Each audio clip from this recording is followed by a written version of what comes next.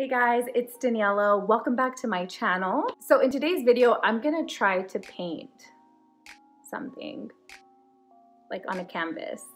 Um, so other than being walked through step by step on how to paint something, I've never painted before. So um, I purchased these canvases at Ross like a year ago, I think, and I just never got around to painting them. I wasn't sure what I even could paint, so I wanted to start off really easy. I looked up like a couple ideas on Z Gallerie's website and things that I found on Pinterest just to get inspired and see what would be easy enough but would be pretty enough to hang up on my wall. So I came up with like the easiest painting.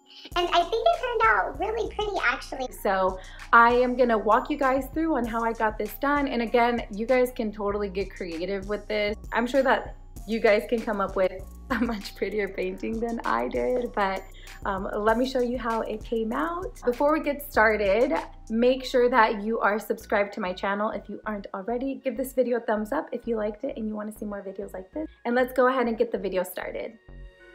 So I found this pack of two canvases over at Ross for only $6.99.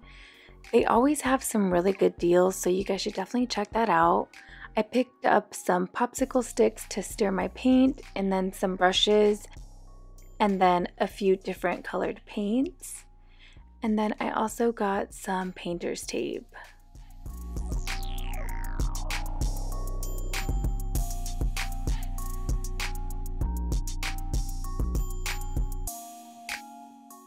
First, you're going to start off by painting the edge of your canvas. Then that way you get a clean painting and it doesn't drip to the edge of your canvas. Honestly, I had no idea what I was doing. I just grabbed this board because I don't have a ruler and I started drawing lines on this just to give me an idea of what I'm going to be tracing over.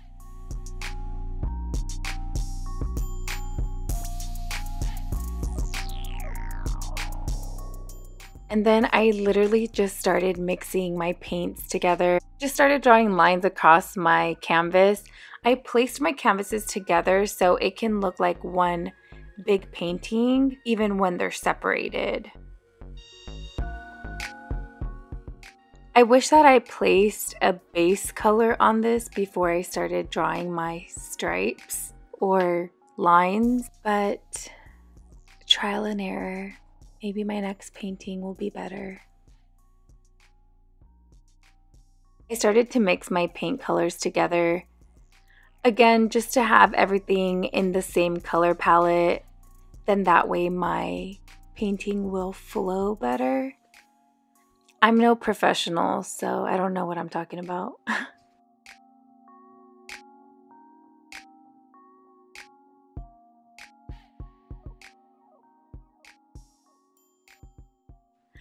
You guys, I was so bummed out. I realized that I wasn't recording when I started to draw these stripes, and I was so proud of my stripes. Anyway, I used this brush that I cut because it had dry paint on it, and then I just started drawing my stripes. And then I also traced some areas on the borders of my canvas. Next, I just added some cornstarch to my paint to give the color some texture. And I just started dabbing the paint on that color. This didn't do much, to be honest. Alright, next I took some popsicle sticks and I started trying to get creative. I'm not really sure what I was doing here, but I started making lines in the opposite direction. It turned out pretty cute.